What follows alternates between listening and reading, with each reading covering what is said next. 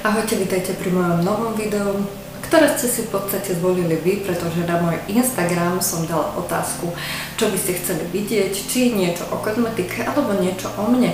No a vy ste sa rozhodli, že by ste ma chceli trošku lepšie spoznať a tak poďme na to, nebudem to ďalej odkecávať.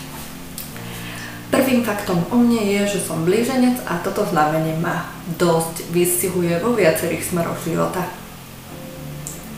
Druhým faktom je, že som sa v minulom roku v máji stala matkou úžasného syna Artura.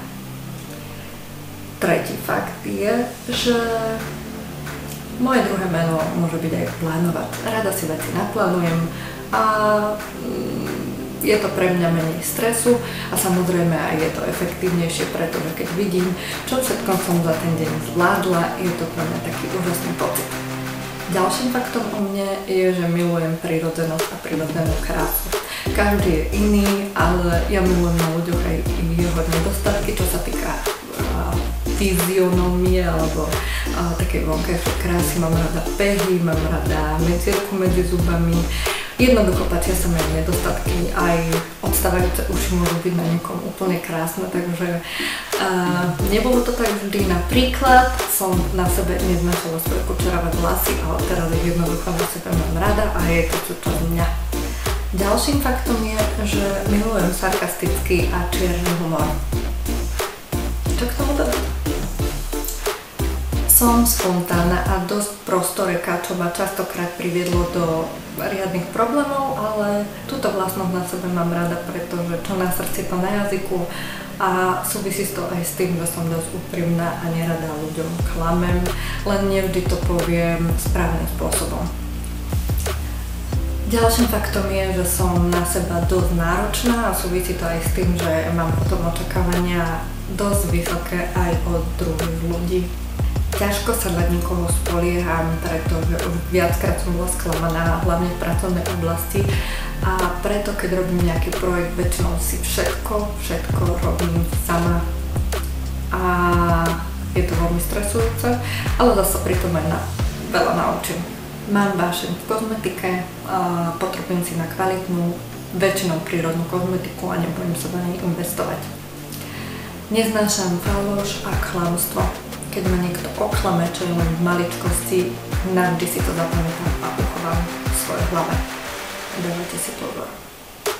Som poriadku milovná a dosť veľký pedant na niektoré veci, dokonca to súvisí aj s tým, že si všimnem, keď sa niečo preloží a keď mám na poličke niečo inak.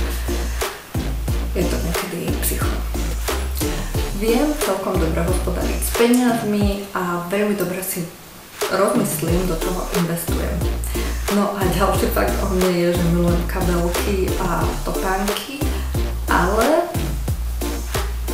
nevylučuje to ten predošlý fakt, pretože investujem radšej do kvalitnej kabelky, do topánok, ktoré mi vydržia roky. Pohyb je veľkou súčasťou môjho života, jednoducho som stále v rytme, rada tancujem pri všetkom, pri varení, pri upratovaní. Раз, раз, раз, это хардбас Все в спортивках Adidas И на Nike пацаны Слушаем хардбас басы Этот стайл любимый Ждем все в ритме колбасы 150 ударов Za Arturom rada spievam, robím koniny a jednoducho sa rada hýbem, čo sa týka cvičenia, behania, jogovania. Milujem jednoducho pohyb, milujem sa hýbať a mám dosť veľký problém takto sedieť dlho pri kamere. Pred kamerou, pardon jazykové okrnko.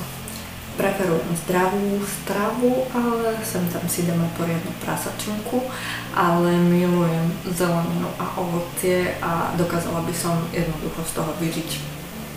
Som dosť citlivá a empatická osoba, niekedy aj veľmi, ale veľmi súcitím s druhými ľuďmi, ktorí majú napríklad nejaký problém a častokrát som sa pri pohľade na bezdomovca alebo na nejakého chorého človeka rozplakala a veľmi rada takýmto ľuďom pomáham.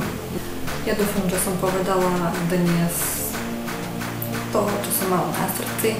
Ak sa vám video páčilo, tak ma podporíte lajkom Nezabudnite tento kanál odoberať, aby vám neuniklo žiadne video. Samozrejme som aj na Instagrame, tak aby vám neuniklo nejaké hlasovanie, pretože aj vy môžete rozhodnúť, aké video natočím. Majte sa krásne a majte sa radi také, aký ste.